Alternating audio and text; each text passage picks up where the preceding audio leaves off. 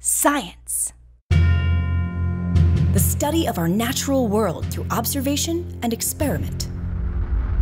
Homo sapiens, hominids, humans, people, bipedal primates who use language and complex tools. We are the curious species, the species that asks why. Partly thanks to that language thing, but also because of our capacity to question. Human curiosity brought us the internet, the wheel, the polio vaccine, cheese in string form, string in cheese form, walking on the moon, and blankets with sleeves. You are human and you are here. You are the product of your ancestors, generations of curious minds that created civilization as we know it. The species that dreams wildly, engineers with greatest precision, discovers the most extraordinary.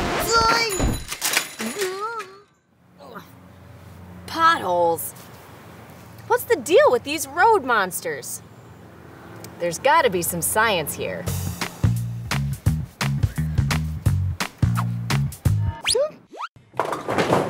I'm good.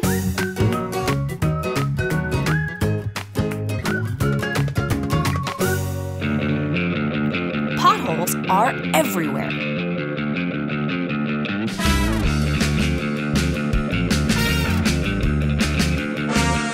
Maybe not everywhere.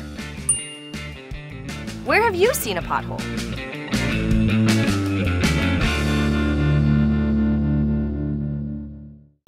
A pothole?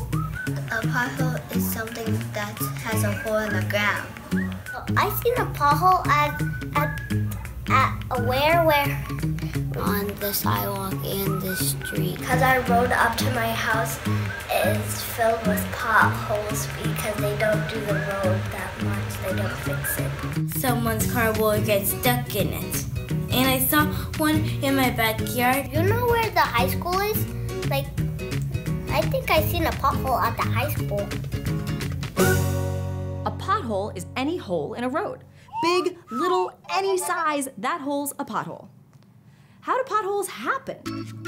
A pothole can start when water gets into the ground under the pavement. When that water freezes, it expands and cracks the pavement. Then, once it warms back up and melts away, those cracks are left behind. Wow, water is so strong. Thanks, it's in my nature. In the blue corner, it's water! So water expands when frozen. What's up with that?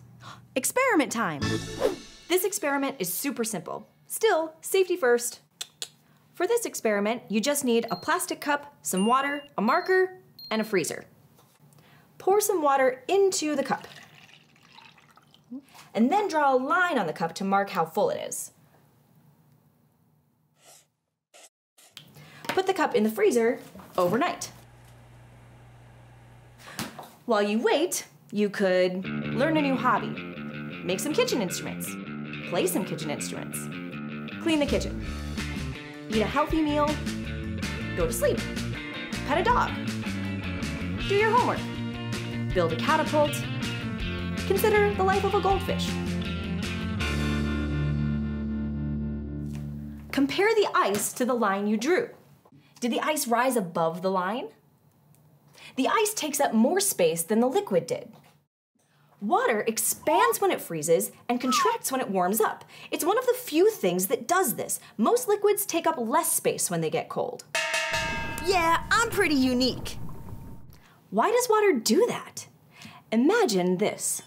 Water does take up less space when it cools down, until it gets to just above freezing temperature. Then it starts to expand, and when it freezes, it forms a crystal structure with six points a hexagon.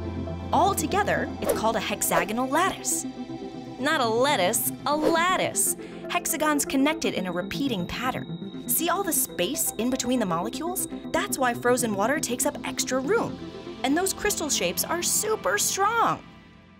Strong enough to crack pavement. Even I can't do that.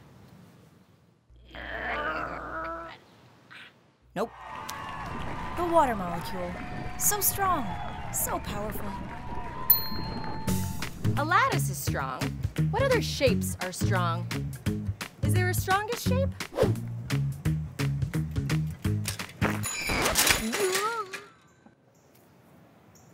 What do you think, scientist?